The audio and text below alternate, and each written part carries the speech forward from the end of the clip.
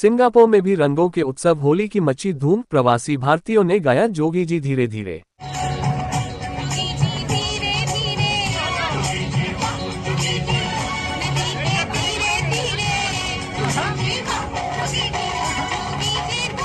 भारतीय लोग जहाँ भी रहते हैं, अपने भारतीय होने का एहसास करा देते हैं। चाहे वह भारत हो या दुनिया के किसी भी कोने में हो, वह अपनी परंपरा को कायम रखते हैं। इसी क्रम में अगर बात की जाए होली की तो रंगों का पर्व होली विश्वव्यापी स्वरूप ग्रहण करता जा रहा है। यह उत्सव विदेशों में भी काफ़ी लोकप्रिय है।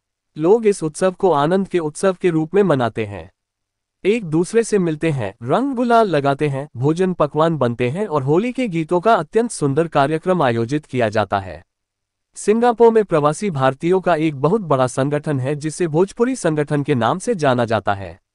जो भारत वर्ष के लगभग सभी त्योहारों पर विशेष आयोजन करता है। अपने देश की मिट्टी से, यहाँ की संस्कृति से उनका इतना गहरा लगाव है, कि वे भारत देश में पड़ने वाले प्रत्येक उत्सवों को आपस में मिलकर बड़े ही उत्साह के साथ मनाते हैं।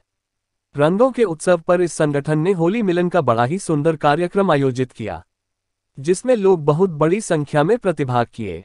लोग रंग गुलाल लगाकर एक दूसरे से गले मिलकर खुशी का इजहार किए। तथा बहुत ही सुंदर, सरस और मनोहारी लोकगीतों का कार्यक्रम आयोजित किया गया। भारतीय लोग जहाँ भी रहते हैं, अपने भारतीय होने का एहसास करा देते हैं। चाहे वह भारत हो या दुनिया के किसी भी कोने में हो, वह अपनी परंपरा को कायम रखते हैं। इसी क्रम में अगर बात की जाए होली की तो रंगों का पर्व होली विश्वव्यापी स्वरूप ग्रहण करता जा रहा है। यह उत्सव विदेशों में भी काफ़ी लोकप्रिय है। लोग इस उत्सव को आनंद के उत्सव के रूप में मनाते हैं। एक दूसरे से मिलते हैं रंग गुलाल लगाते हैं भोजन पकवान बनते हैं और होली के गीतों का अत्यंत सुंदर कार्यक्रम आयोजित किया जाता है। सिंगापुर में प्रवासी भारतीयों का एक बहुत बड़ा संगठन है जिसे भोजपुरी संगठन के नाम से जाना जाता है जो भारत वर्ष के लगभग सभी प्रणाम सभी को। भोजपुरी एसोसिएशन ऑफ़ सिंगापुर की तरफ़ से आप सभी लोगों को होली की हार्दिक शुभकामनाएँ। Bhojpuri association of Singapore. प्रतिवर्ष इस रंगों के त्योहार होली को बड़ी धूमधाम से मनाता हुआ आया है।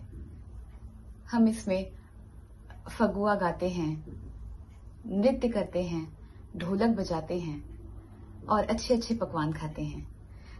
होली के पारंपरिक पकवान जैसे कि गुजिया, मालपुआ दही बड़ा कटहल की सब्ज़ी, इन सभी चीज़ों का आनंद उठाया जाता है।